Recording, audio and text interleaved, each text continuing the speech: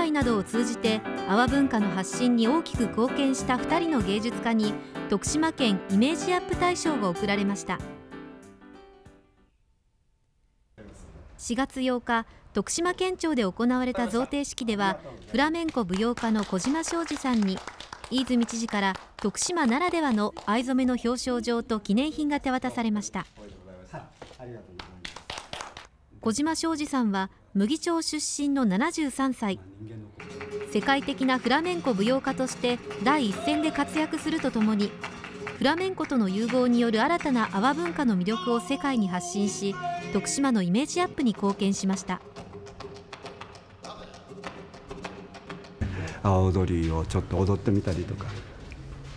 踊ってるのをちょっと覗いてこっそり覗いてみたりとかそういうことから始まっておりますしできるだけのことは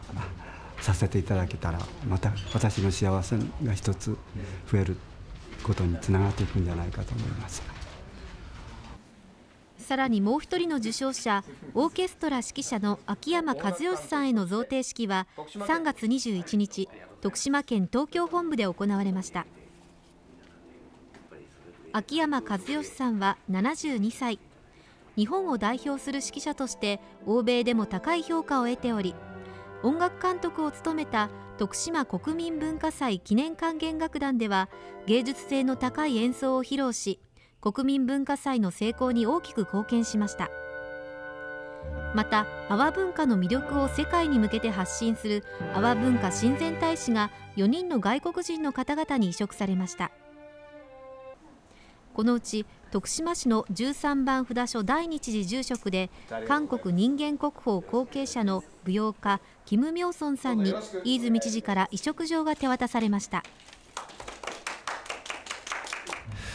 国内外またどこの国ご出身関係なく阿波文化にご理解をいただいて世界に発信をしていただく、まあ、こうした皆様方にさらに今回のご受賞を契機として阿波文化の理解を深めていただくとともに世界中に阿波文化をどんどん PR をいただければと大いにご期待をするところです。全国初2度の国民文化祭を契機にさらに高まった文化振興への機運。皆さん一人一人が文化の担い手です。みんなで阿波文化や徳島の魅力を伝えていきましょう。